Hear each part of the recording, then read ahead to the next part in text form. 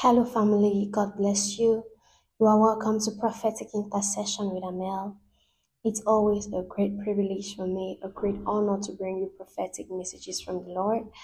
I feel blessed each time God finds me worthy to entrust a prophetic message to me for His children.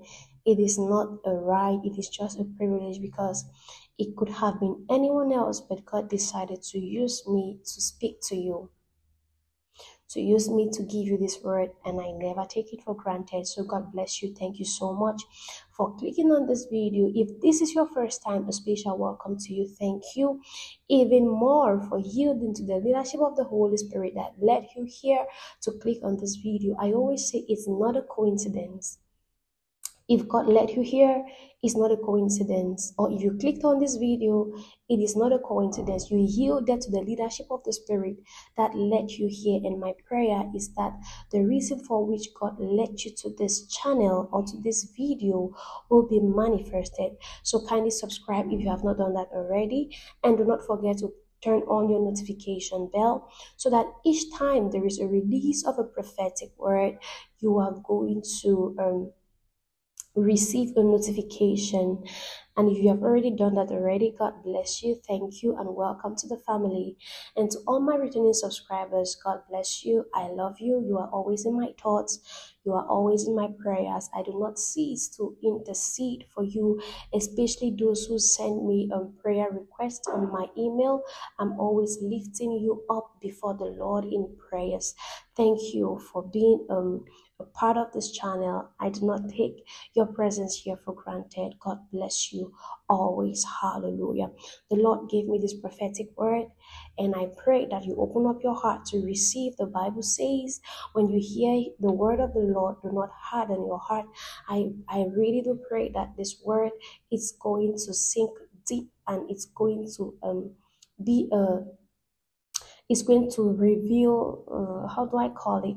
It's going to be a light bearer to your life. Hallelujah. God says these two are in a serious fight because of you. These two are in a serious fight because of you. This is because you are not ordinary. This is because there is a specific assignment god has for you. This is because of the light you carry There is a battle between the kingdom of darkness and the kingdom of light over you. There is a battle between the kingdom of darkness and the kingdom of light over you. But guess what? You have the yam and the knife to decide your faith. You have the yam and the knife. I mean, it's so strong that you need to consciously decide what you want to do. You need to consciously decide how you want to handle this. You need to consciously decide. I mean, it's a conscious effort. Apostle Paul speaking, he says, The things that I want to do, he says, there is a, a war in my members, there is a war in my spirit, there is a war that is going on in the inside of me. The things that I want to do, I am I, I, I do not do them. And the things I don't want to do, I find myself continually doing them. But guess what? There is a great news for you. Every one of us, we have found ourselves in that place where you you you you, you know the right thing to do, but you cannot do it.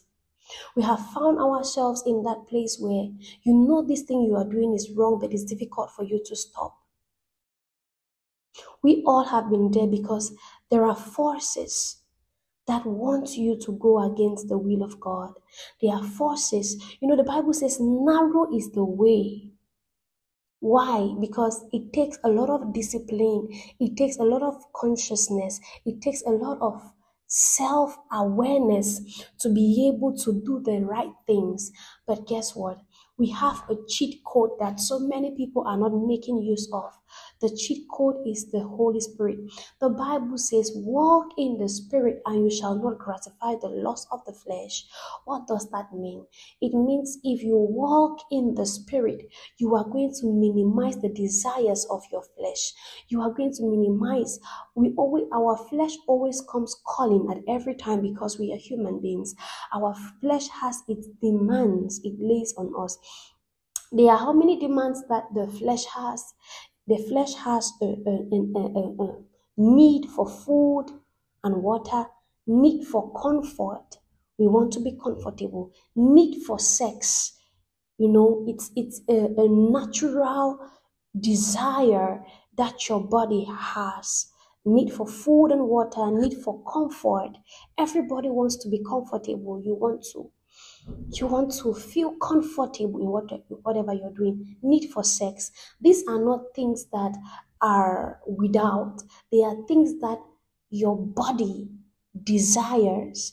But guess what? You can tame it you can tame it when you walk in the spirit. You can tame it. That is why people are able to take up on fasting programs. Even though your body wants food, you deprive yourself of food because you have a goal.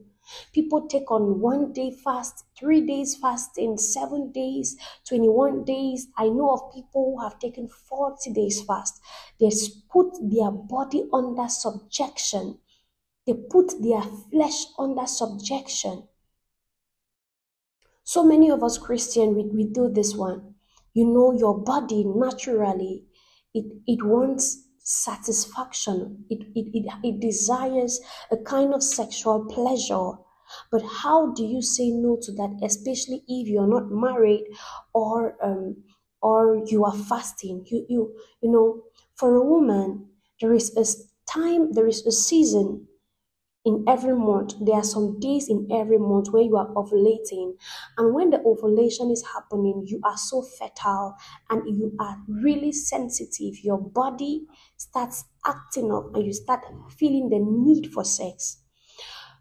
When other people, when unbelievers feel that, when they feel that, they will stop at nothing to gratify the, the, the, the loss of the flesh. They will feel, they will do everything they can to satisfy that desire. But as a Christian, if you are not married, you have to walk in the spirit so that you do not satisfy that desire. And so many of us do that already. So many of us know how to tame our bodies. The same for men. You know, men's natural inclination is that when they see a woman who is beautiful, looking all, you know, glammed up and everything, they are attracted to the woman. They want to have sex with her.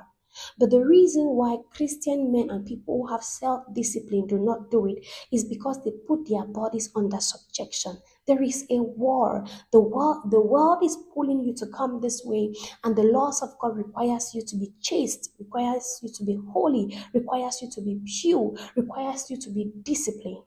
And the good news is that you have someone that can help you handle this. You are not in it alone. The Holy Spirit can help you. If you walk in the Spirit, you will not gratify the lust of the flesh. You will not yield to the things of the world. You will find yourself inclining to the things of the Spirit, to the things that give God glory.